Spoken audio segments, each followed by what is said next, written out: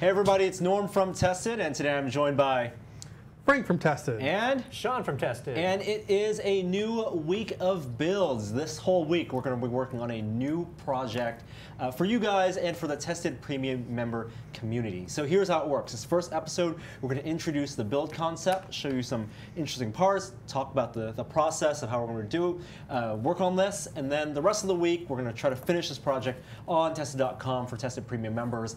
Uh, it's a great way to sign up and watch a lot of the stuff that Adam's doing behind the scenes, um, and also stuff we're doing as well. So today we are going to be uh, assembling and painting um, a new model kit, and this is a 3D printed kit. Yeah. So for those of you out there who've watched our videos about 3D printing before, Sean is our uh, 3D printing and fabrication rapid prototyping expert. Uh, we intro- introduced you guys to Jacky Wan's uh, designs. yeah, Jack Yuan, Valcro. Uh, we, we just got done running a bunch of different projects that he's done. Um, he's a designer after my own heart because he designs things that are many pieces that go together, which I, I like a lot, and it's kind of how I design things. So um, one of his newest things that he's released is the Fallout mini nuke from the Fat Man, one of the most coveted weapons. Uh, so uh, he has done two versions. He has a nice uh, complete version that uh, you can download on YouMagine. And he did a really cool cutaway version, which he's been kind enough to share with us. Yeah, so the files for this Fallout Mini Nuke, um, just for the shell, are available online, like you said. Yes. And he partners with Ultimaker, the 3D printing 3D printer company. And so this is a blog post that Jacky did for Ultimaker, talking about the modeling, the printing, and his final paint job for the Mini Nuke. Yeah. Uh, the final product, which we saw at the top, is is incredible. It, it's, it's great. I'm actually scroll down to the bottom to show you. This is what it looks like when it's assembled but not painted. Uh-huh. And then this is what it looks like Yeah, when great. it's finished. He did a nice painted. job. I think I think that's an amazing, amazing job. And he was kind enough to send us the files. So Sean, this whole week you've been printing out the mini nuke. Yes, it's a, it's a challenging print. It's uh, about 21 hours per nuke. Wow. Um, and it's because some of the pieces are pretty big and um, uh, printing at fine resolution, and some of the, a lot of the parts are very thin, so you end up having to run the printer a little bit slower than you would normally. Um, and because they're so thin, you might have to uh, use what's called a brim to keep it kind of glued to the platform a little bit better. Um, and but it's it's a really nice print and it fits together well. Yeah, let's talk about the design of this, um, as Jacky explains in his blog, and things that you took away when you look at look at the print and design, Sean. Uh, it's obviously it's like an egg shape, right? Yeah. And printing an egg is that easy or difficult, or designing something to be printed as- of this shape? It's a little difficult because uh, you got the overhangs that you have to deal with, so it can't be too bulgy or it won't be able to print smoothly. Right. So this Um, arc yeah. here, this curve on the outside, if it was too wide of a curve, then as it's printing out, you're going to need supports. Yeah, and it's a tall piece, so it just has a lot of layers to draw. And we did it to keep the stepping to a minimum, to keep it as smooth, smooth as possible. We did it at 0.1 millimeters, so it take it takes a long time. I think just the I print the shell and the fins together, the bottom half, and that's about a 16-hour print all by itself. So, this Yeah. and this get printed together. That's 16 hours. in 16 hours, yeah. Uh, the fins themselves also take a long time, and Very- something yes. because of uh, this angle here It's specifically. it's not the angle so much as how thin the um, f- the fins are. So Ah. it has to go really slow when it's drawing the fins because it's such a small cross section that if you go too fast, the uh, plastic won't uh, solidify fast enough, and you'll get a messy print. Like it will peel off. It'll just, It won't. It'll just get blobby. Hmm. So I mean, you could clean it up, and um, and we printed a lot of these hollow, which is a tricky business with such big pieces because hollow uh, it helps with the surface detail and it uh, helped them print faster. Um, but it also can lead to really fragile parts, so you got to get you know the settings just right.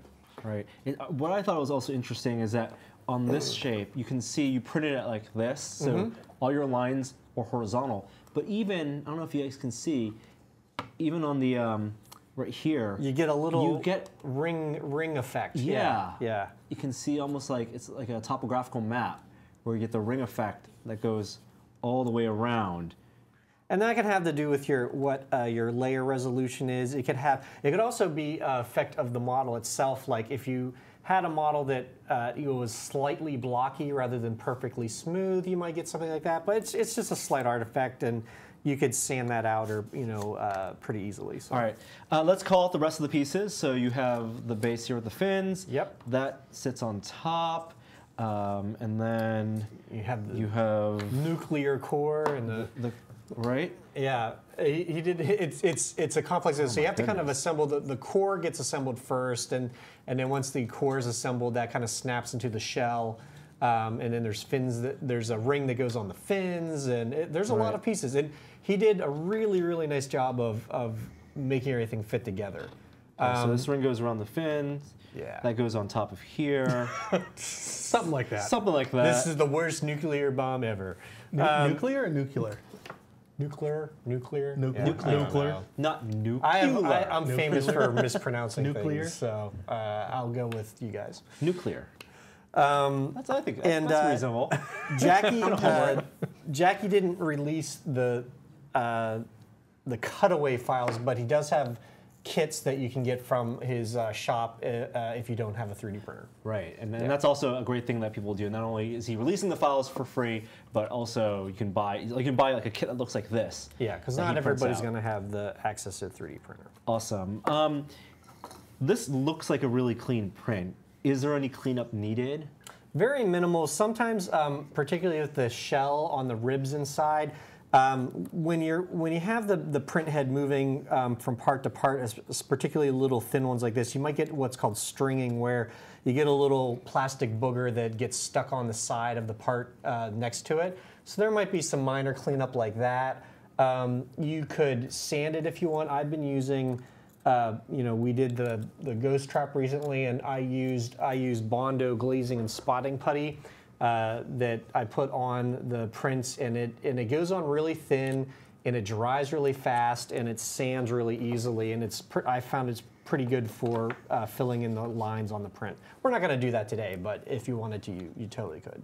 Yeah, I think these are this is a really great job. Um, now, what else did you notice about the design of this? Uh, can you print? Is, is everything meant to be just printed vertically?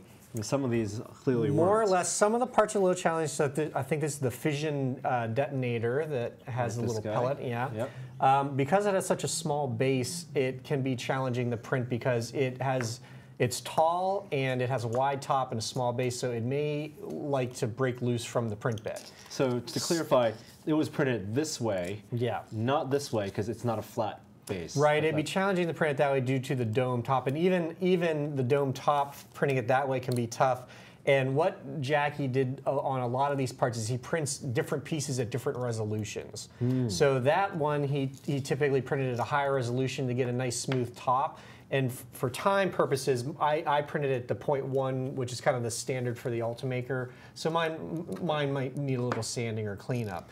Um, but the other thing you can do with that is you can do what's called uh, a brim, which it basically uh, makes a little skirt around it that's attached to it that kind of keeps it glued to the print bed.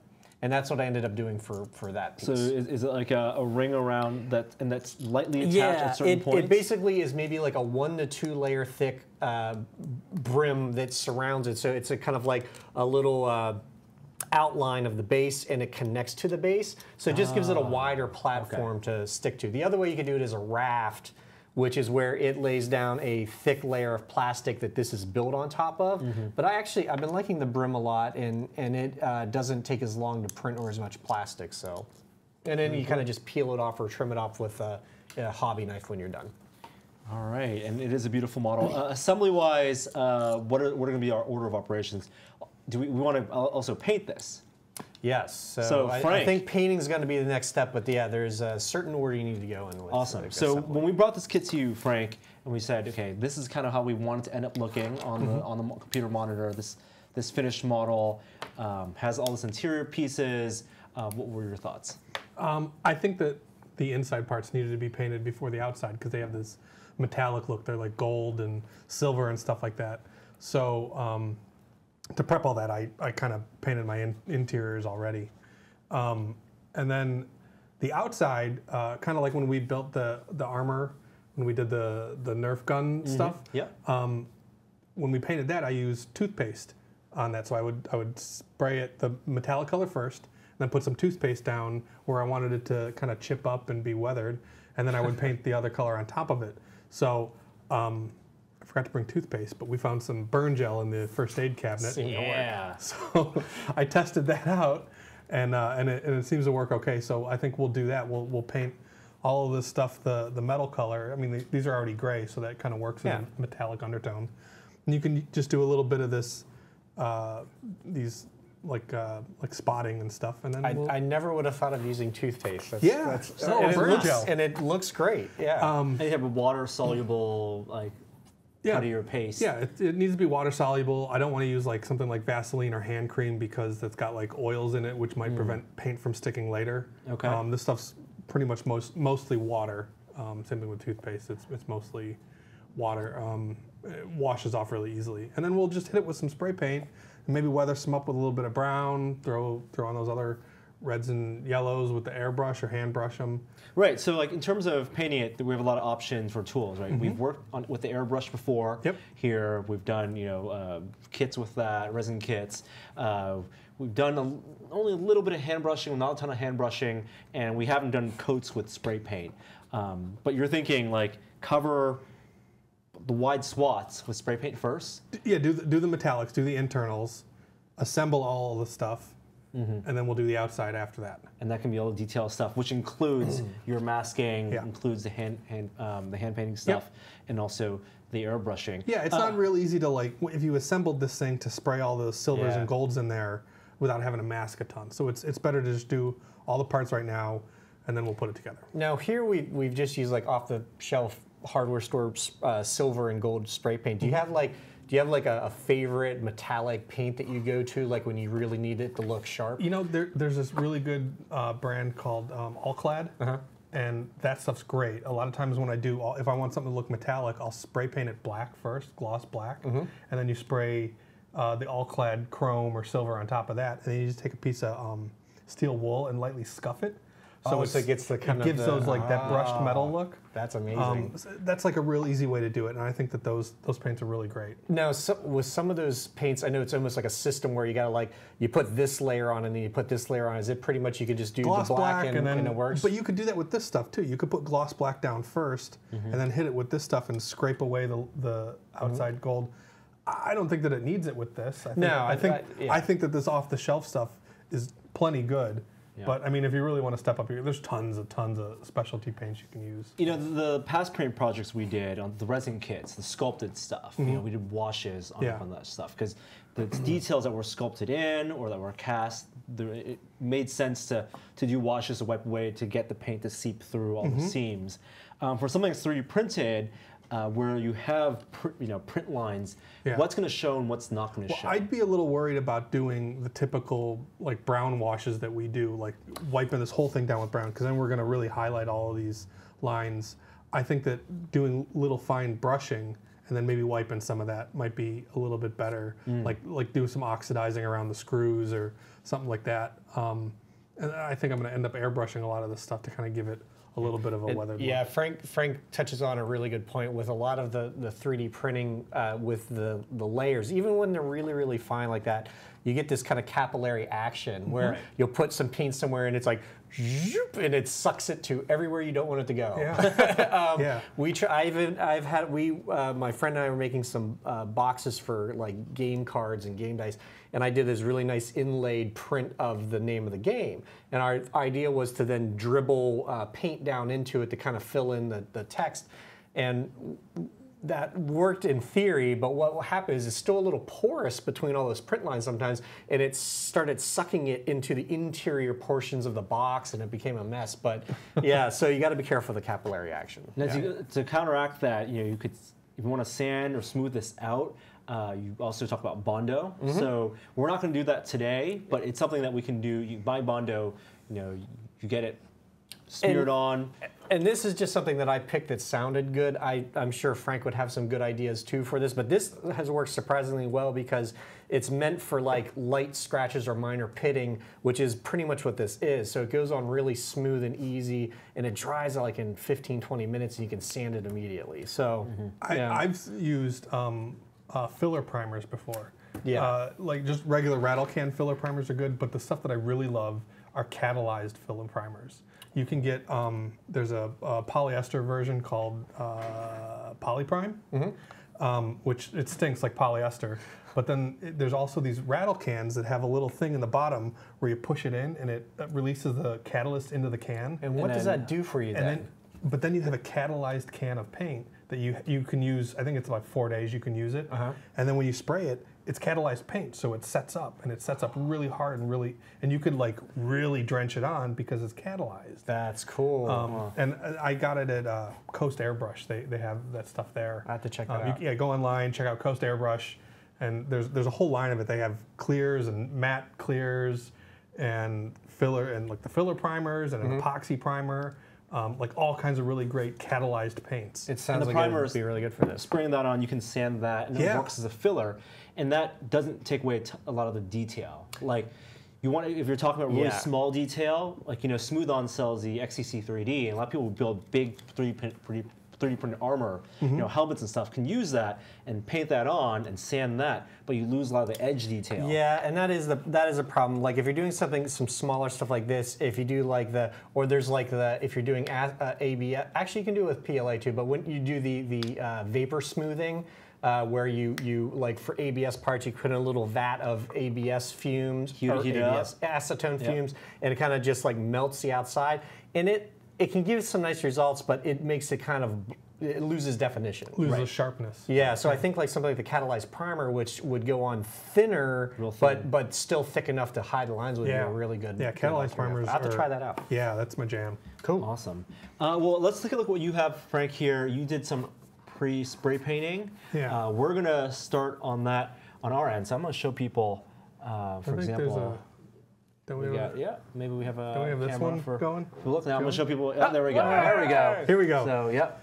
So uh, basically, I, I took the golds and I sprayed all the golds first. Um, and on some of these parts, there's silvers also. I didn't bother masking any of this stuff.